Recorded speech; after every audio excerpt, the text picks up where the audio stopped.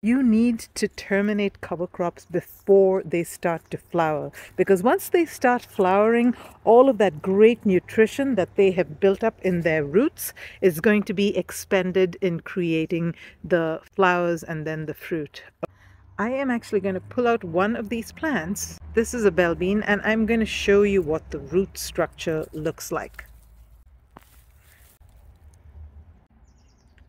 So these little pinkish nodules that you see, these are the nitrogen fixing nodules. The soil bacteria called rhizobia has a symbiotic relationship with the bean plant and it helps capture that nitrogen and fixes it in these nodules and then later on becomes available to the soil or the soil life. So that is what my intent is for these particular cover crops. This is a premium soil building type of cover crop that I got from Peaceful Valley Farms in California.